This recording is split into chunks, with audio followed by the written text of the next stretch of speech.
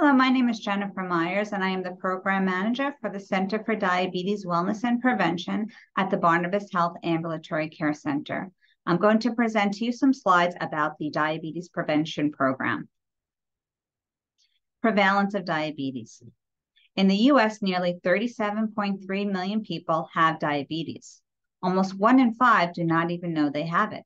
They may not be seeing a doctor, or they may not have any symptoms at all and therefore not be aware that they may have diabetes.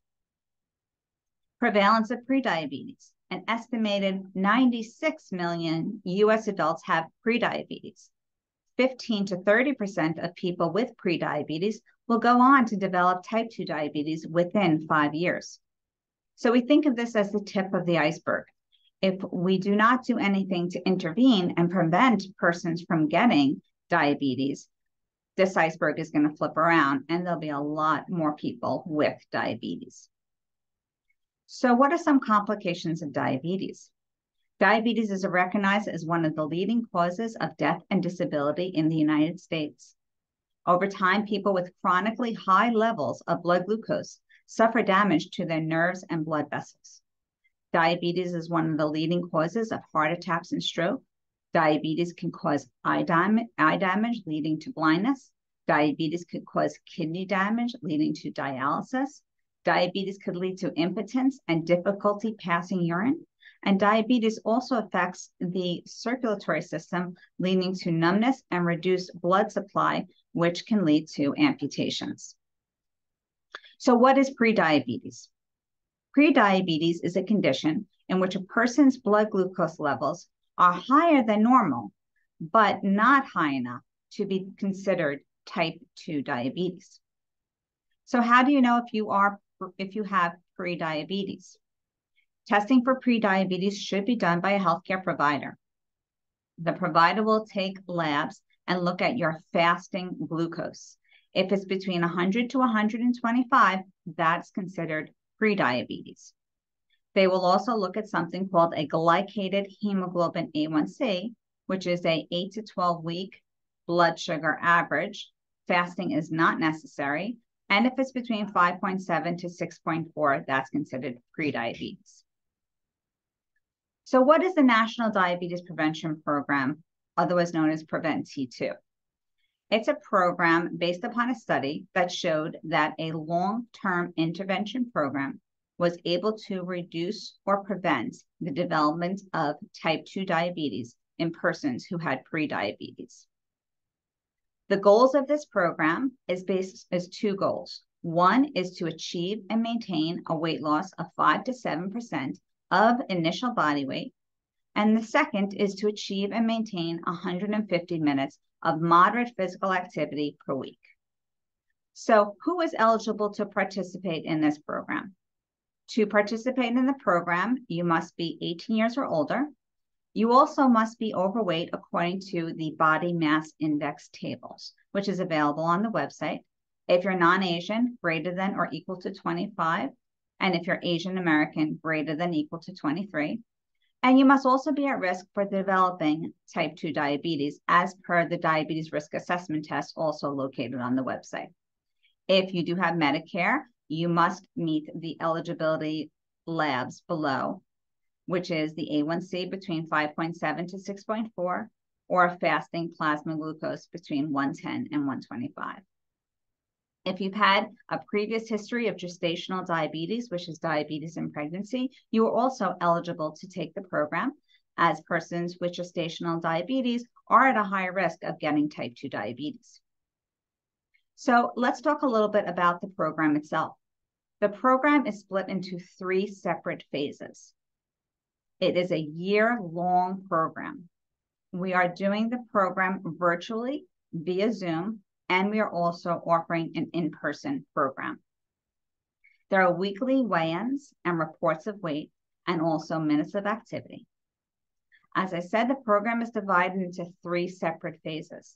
The first phase is the first four months of the program, where participants will meet weekly in 16 group sessions.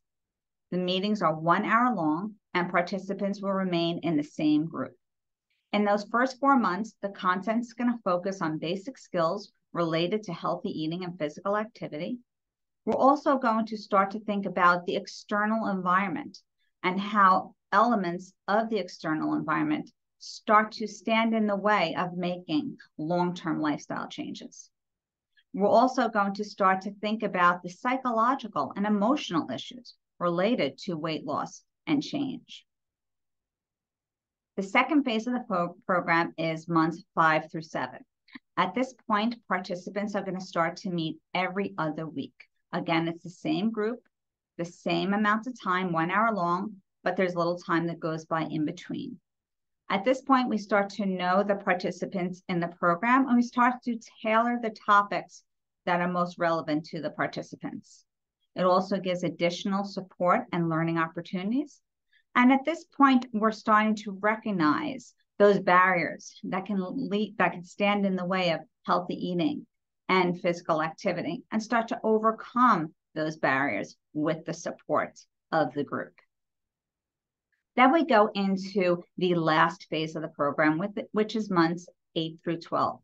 Again, it is the same group, the same day, the same time. It's one hour long, but now we start to spread out even more time in between sessions and we meet every three weeks. This allows participants to make changes on their own, but still come back to modify behaviors, have some accountability, have the support, and additional learning opportunities. So, to summarize some of the requirements of the program, you really want to think about if this is the program for you at the right time in your life. It is a year long program. It amounts to about 26 sessions in total. Participants are encouraged to attend all sessions of the program as attendance does drive results. However, if you are unable to attend a session, that does happen, and makeup sessions are allowed. However, we do not encourage it to happen too often.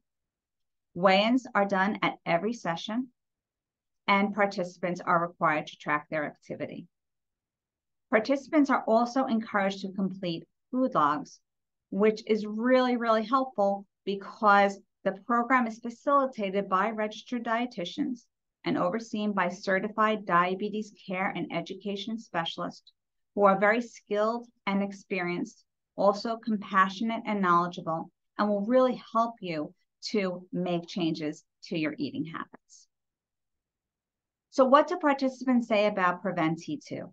They say it's an excellent program they have said that it helped them to understand the relationships between healthy eating and exercise to their blood sugar levels. They said the instructors are inspirational, very positive, non judgmental, supportive, and extremely knowledgeable. They liked having the accountability and support. And they also said it helped them to overcome those mental challenges that may stand in the way of living a healthy, balanced lifestyle. So if you feel this may be the program for you, your next steps after watching this video is to contact our center and speak to one of our team members who will follow up with you to coordinate the next steps. Now, you can do that by either calling our center at 973 322 7007, or you can email karen.ulrich at rwjbh.org, or you can complete an online interest form. Thank you.